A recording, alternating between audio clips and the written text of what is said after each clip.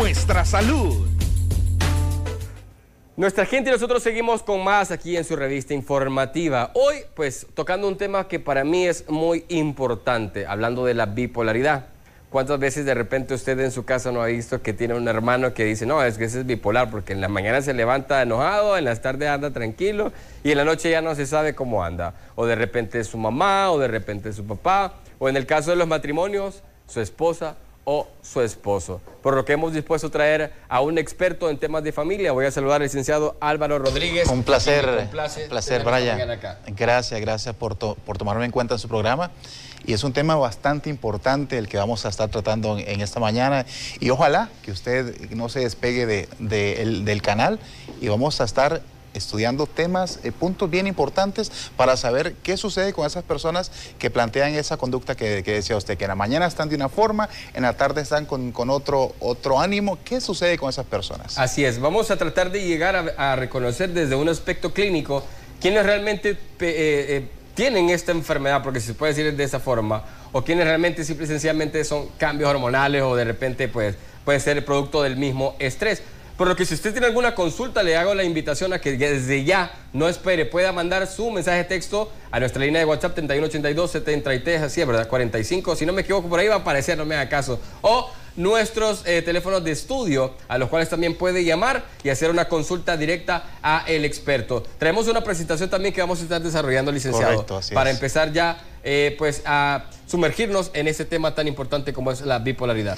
Es importante que las personas, principalmente en la familia, entiendan ¿Qué, sucede con esas personas? ¿Qué síntomas existen para diagnosticar también a esas personas que pueden enfrentarse a esa problemática? Y es que no es, suficiente con que se le diga a la persona, pon, de tu parte o controlate o, vos, vos que, que, no, que, no, que no te ayudas, que sos mecha corta. El problema es que la persona pierde la capacidad para controlar esos altibajos que tenemos emocionalmente, pierde esa capacidad para regularse. Eso es, eh, así se podría definir la bipolaridad. Porque, a ver, usted o yo nos levantamos una mañana que queremos levantarnos temprano, tal vez nos levantamos a las cuatro y media, cinco de la mañana, tal vez al día siguiente pues dice, no, voy a dormir un poquito más, voy a dormir hasta las seis. Y, uno está en que, ay, tengo que ir a trabajar, tengo que hacer esto, pero al final nos levantamos. El problema con las personas bipolares es que no, no hayan cómo hacer ese, ese extra que nosotros hacemos. ¿Por qué? Porque pierden la capacidad para regular ese estado de ánimo. De hecho, es una enfermedad, se puede catalogar hasta crónica. Ok, interesante la verdad porque el padecimiento es algo que afecta el entorno, no solamente al paciente en este caso, ya que pues puede alterar mucho el equilibrio en cuanto a temas de tranquilidad o una armonía que se pueda eh, desarrollar dentro del hogar o dentro del de el, área de trabajo también, porque esto también se puede llevar ahí. De repente familias que tienen negocios eh, y les toca trabajar con una persona, es muy difícil y es muy, muy difícil el poder eh, estar con una persona que padece esta enfermedad siempre y cuando sea algo clínico, no tanto así, así una persona que porque se le apetece Hoy anda de buenas y mañana de malas. Es que nosotros en nuestro, en nuestro quehacer, en nuestra, en nuestra vida diaria, acostumbramos llamarle bipolar casi que a cualquier persona porque la vemos que, que está de un humor ahorita y en la tarde está con, otro humor. Eso es más, más profundo, requiere, requiere tiempo, inclusive años para diagnosticar a una persona como con el trastorno bipolar. ¿Por qué bipolar? Porque la persona llega a extremos donde llega manías, que es euforia plena, donde esa persona se come, se quiere comer el, el mundo a cucharadas, se quiere comer, eh, piensa que puede conquistar el mundo, piensa que puede hacer cosas, sin embargo tiene otro extremo, que es el depresivo, donde ya la persona piensa que no vale nada, donde la persona piensa que para qué, que para qué voy a, voy a seguir, que esta vida ya no vale nada, que este país acá, que este país allá. Entonces, esos extremos son, son los que hacen que la productividad de la persona se, vea afectada. Imagínese que tengamos un empleado, un colaborador, que usted le, usted le dé un proyecto que lo desarrolle en seis meses. Puede ser que empiece bien, puede ser que a los dos, tres meses el proyecto esté bien, pero de un momento a otro resulta que ya perdió ese ánimo, que ya perdió esa fuerza con la que empezó esa persona. Entonces se afecta en productividad afecta también en las relaciones en, pareja. Sí, definitivamente. Y eh, un, un, un, esposo o una esposa que tenga ese trastorno posiblemente no va a tener la comprensión en su, en su, en su par, no va a tener la comprensión. Y es que volvemos a lo que dije al, al inicio, la persona pierde la capacidad, no es que ella quiera estar así. La persona pierde la capacidad. Imagínese una persona así, le pongo un extremo. Una persona que está contando chistes, que está toda motivada, es el centro en la fiesta, pero usted le contradijo algo y ya esa persona cambió totalmente, ya dice, no, pues aquí, aquí yo no sé qué estoy haciendo, yo mejor me voy, aquí no me quieren, mis chistes son malos. A ese punto llega, a ese extremo llega. Ok, perfecto. Bueno, ya tenemos listo su presentación, licenciado. Si quiere, pues empezamos ya a desarrollarla. Correcto. El trastorno afectivo bipolar se define como una enfermedad. Eso es bien importante que lo entendamos. Es una enfermedad.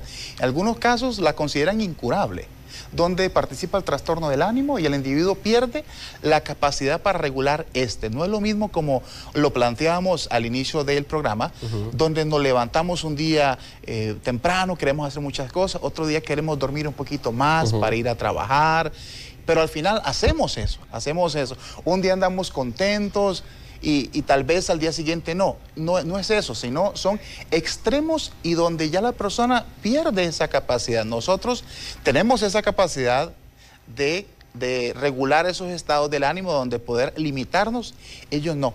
Inclusive una, una persona así enfrenta a múltiples factores, no solo lo hereditario, que lo vamos a estar tocando, lo hereditario que es lo que influye más, sino también a su medio ambiente, a su entorno. De hecho, en la presentación dice trastorno multifactorial, lo que significa que existen muchos factores como el genético, como biológicos y ambientales responsables del origen e inicio del trastorno. Las, las personas que la, que la enfrentan tienen estados de crisis, como dije, extremos.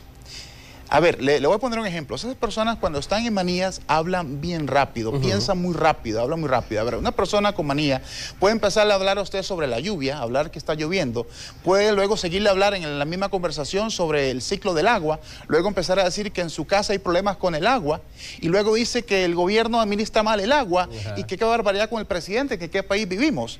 Cuando empezó a hablar sobre la lluvia nada más y empezó y, acabó hablando sobre, el presidente. ok, la verdad que sí es bien complicado y es bien tremendo eh, el hecho de esto como usted lo dice. Y pues seguimos viendo parte de la presentación que nos trae.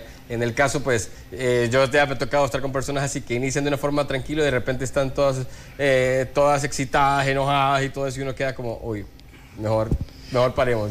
Lo, lo, lo, positivo con las personas cuando están en su estado maníaco o eufórico, un poco burdo lo que, lo que voy a decir, es que son, se les puede dar por ir a gastar mucho dinero, se vuelven muy, muy altruistas, quieren regalar todo, quieren hacer cosas buenas, que lo, que lo vean, quieren hacer bien a todos. Entonces, si usted tiene un amigo de esos, se puede salvar porque, porque le van a dar un buen regalo en algún momento. Pero ya hablando en serio, sí, ellos se vuelven eh, gastadores, se, se vuelven ese estado eufórico que no lo pueden controlar, quieren hacer, quieren hacer cosas grandiosas, pasan con una alegría incontrolable. Pero si usted les dice algo, le señala algo, se puede meter en problemas con Definitivamente. Bueno, solo vamos a hacer una pequeña pausa, vamos a hacer un pequeño contacto en vivo. Contacto en vivo en nuestra gente. Gracias, Nelson Melgar. Importantes capturas se están desarrollando en este momento de la mañana y pues nuestro compañero en cualquier momento hará otro contacto en vivo y estará informando durante toda la jornada de lo que acontece en ese sector. Y nosotros seguimos eh, desarrollando este tema acerca de la bipolaridad. El licenciado Álvaro pues nos comenta y nos está hablando de algunos aspectos importantes y definiciones para tomar en cuenta en cuanto a este tema. No todo es bipolar o no todo es rosa, sino que también hay que ver algunos eh, de los términos o de las condiciones que pueden dar cuando una persona es o no es bipolar. Así es, de hecho hay una sintomatología que la podríamos estar observando en la, presentación que les, que les aporté, hay una sintomatología para que la persona empiece, digámoslo así, a autoexaminarse para, para ver si hay alguna hay algo sobre eso. Sin embargo, es importante buscar ayuda profesional, eh, sea un, experto psiquiatra o un experto en psicología, eso es bien importante. ¿Por qué? Porque no es, no es fácil el, que vaya a diagnosticar a una persona así. De hecho, Brian, hay personas que tardan 10, 15 años en ser diagnosticadas, que se le diagnosticó al principio como esquizofrénico, pero no era esquizofrénico eh, sino que con el paso del tiempo hay que indagar, hay que hacer, establecer una historia clínica en el paciente de, qué, pasó en su niñez, porque hay factores en el entorno que pueden afectar. ¿Qué pasó en esa persona? No, no solamente el decir, bueno, es que a mí me cambia el, el humor y creo que yo soy eso, no. Hay que ver qué factores, cómo ha sido esa niñez, hubo, hubo violencia física, hubo eh, alguna violación en el pasado, hubo un tema que lo haya traumado, haya sido expuesto a eso, eso puede aumentar las posibilidades y la parte hereditaria es bien importante. Inclusive si una persona tiene herencia del de, el papá o el abuelo o la mamá, con problemas bipolares tiene 10 veces más posibilidades de desarrollar esa, esa enfermedad. Así es. Bueno, ¿usted tiene algún o se siente identificado con este tema, lo invito a que pueda enviar su mensaje de texto a nuestra línea de WhatsApp o hacer la llamada telefónica también a nuestros teléfonos de planta para que usted pregunte si usted siente eso como no sé si yo tendré esa condición o si de repente mi esposo, si de repente alguno de mis hijos. Entonces aproveche esta oportunidad enviando su mensaje de texto a nuestra línea de WhatsApp o llamándonos a nuestros teléfonos de planta. Siempre la sugerencia es que le baje volumen a su televisor para que pueda eh, pues, hacer sus consultas de forma fluida. Vamos a seguir revisando la presentación que traía en cuanto a lo que es el caso de determinar eh, cuáles serían algunos de los aspectos. Y vamos a ver siempre algo de los trastornos afectivos bipolar, licenciado. Eso es bien importante. Recordarles que los más conocidos son eh, bipolar 1 y bipolar 2. El bipolar 1 es cuando algo es bien extremo. Cuando algo bien extremo, el bipolar 2 es cuando la persona llega, pero no a la gravedad que llega el bipolar 1, donde la, depresión es, en la 1 es extrema y la, y la manía. Entender que manía no es esa persona que le gusta lavarse la mano regularmente, andar sus, zapatos bien limpiecitos, o que le gusta tener la, la digamos que la casa bien, bien limpia. Hay gente que le llama a eso manía, sin embargo, en este aspecto clínico no, no es eso. A eso que le llama a la gente manía le podríamos llamar como el obsesivo, quizá, la persona que le gusta andar pulcro, que le gusta lavarse las manos a cada rato, andar con su gel, todas esas cosas. No es esa manía de la que estamos hablando. Ahora, dentro de la presentación hay un slide que habla sobre los síntomas. Me gustaría que la, que la abordáramos en ese sentido, donde habla, ahí está la sintomatología por ejemplo, los síntomas de la manía, sentirse poderoso e importante. Imagínese esa, esa persona que de un momento a otro siente que quiere, se siente muy animado, que quiere hacer muchas cosas, lo que usted le dé, él lo hace, él se siente capaz de hacerlo, a ese punto llega. Por eso comentábamos que puede afectar las empresas, porque personas con ese trastorno, usted no le puede encomendar un gran proyecto. Y si se lo encomienda, tiene que estarlo supervisando, porque no necesariamente la, esa respuesta que le dio el primer mes la, la va a seguir manteniendo, porque su humor puede cambiar, inclusive puede llegar un día donde él ya no va a trabajar, él ya no va a trabajar, llega al extremo. Otro, otro aspecto importante, otro, síntoma dentro de la manía, podemos ver en la presentación, Brian, tener problemas para concentrarse, eso es bien importante. La persona cuando está en ese estado tiene problemas para concentrarse, para, para poner atención, tiene ese, ese problema que lo que usted le diga no está poniendo atención. Usted le está hablando y está pensando en otra cosa. Está pensando a mil. El ejemplo que pusimos al principio de la persona que empieza a hablar de la lluvia, luego del ciclo del agua, luego de que el sistema del agua, luego de que el gobierno no administra bien el agua. Empieza a hablar rápido. Eso son, es parte de la sintomatología. Hacer cosas arriesgadas. Es esa persona que inclusive a nivel, a nivel sexual, toma riesgos. Como andan en su etapa maníaca, toma riesgos, son conductas riesgosas, inclusive puede manejar a alta velocidad y él no se da cuenta, puede hacer cosas que van a hacer daño a otros y él no se da cuenta, porque anda en ese estado. Y como definimos al principio, la persona pierde la capacidad para regular ese estado de ánimo y tiene que ver también con aspectos químicos en el cerebro, donde los neurotransmisores donde eh, empiezan a fallar, hay áreas inclusive donde empiezan a haber dificultad, como bien plantea ahí. Un estudio publicado en la eh, revista eh, Psiquiatría Molecular involucró una investigación donde analizaron 6.500 cerebros, 6.500 cerebros y 2.500 eh, con personas con bipolaridad y encontraron cosas interesantes, como que había deficiencia en la, en la masa cerebral, en la masa gris. Había áreas donde no era igual a los demás, sino que se veía afectado. Entonces todavía está en ese, en ese estudio, donde qué es lo que lo, qué es lo que lo está Detonando, si podría decir. Sí, ¿qué es lo que lo detona? Porque no, no solamente señalar a uno o etiquetar al otro, sino investigar Cabe resaltar que la historia clínica es bien importante para establecer un diagnóstico y la intervención de un profesional en psiquiatría o en psicología. Ok, interesante lo que estamos abordando. Vamos a seguir revisando y solo voy a tener una pequeña intervención dándole lectura porque tengo bastantes mensajes de texto. Dice, mi hijo tiene 10 años y su comportamiento es variable. Eso me preocupa. Primero está bien jugando y al ratito cambia y se enoja de nada. Habría que establecer, habría que, establecer bien en qué momento se enoja y en qué momento cambia.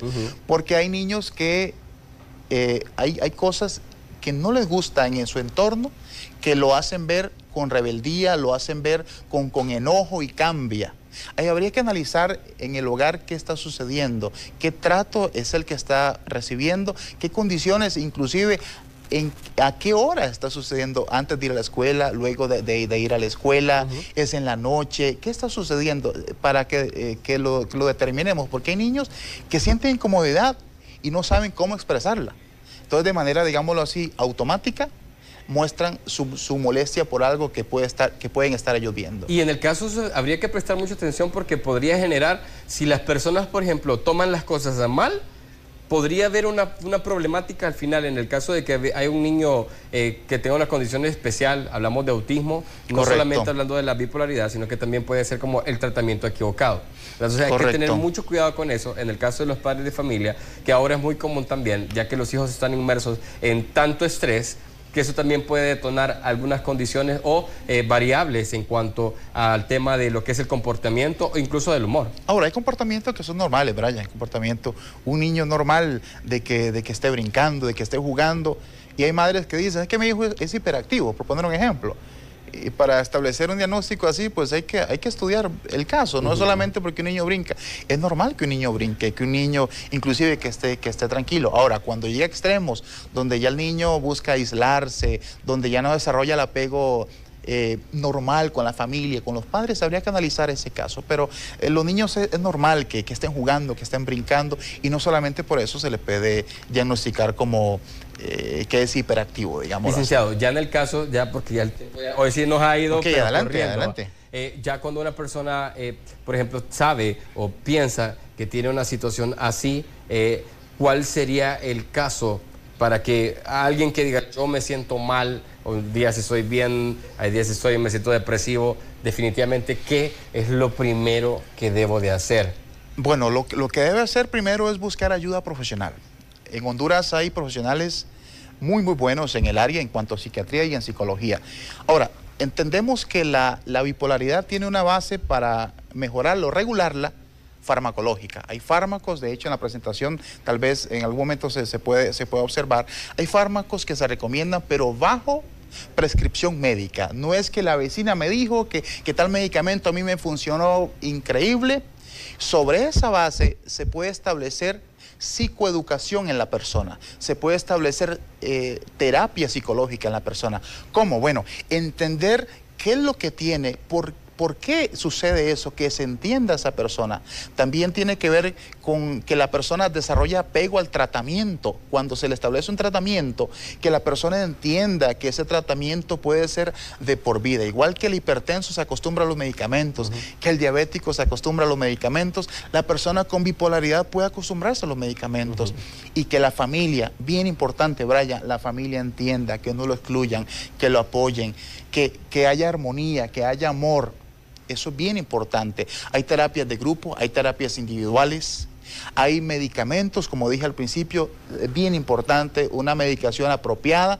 Para eso, insisto, hay profesionales muy buenos en, Honduras que, puede, que puede consultar. Pero sí le aconsejo que no etiquete a nadie eh, que es bipolar y que tampoco se automedique. Eso puede ser riesgoso porque puede generar efectos secundarios. Licenciado, yo me comprometo a continuar con este tema porque nos hemos quedado un poco cortos. Nos quedamos cortos. De tiempo, entonces... Vamos a ver si podemos hacerlo eso la otra semana para seguir ampliando un poco más acerca de este tema. En cualquier cosa, alguien que quiera contactarlo, ¿dónde puede hacerlo? Claro que sí, estamos a la orden. Mi, número, mi número es 9929-1979, 9929-1979 y mi correo electrónico es álvarobarquero arroba gmail.com. Ok, perfecto, licenciado. Brian, gracias por la oportunidad, encantado. Muchísimas gracias, pues ya como le dije, me comprometí para traerlo otra vez acá. Eh, nosotros tenemos más información.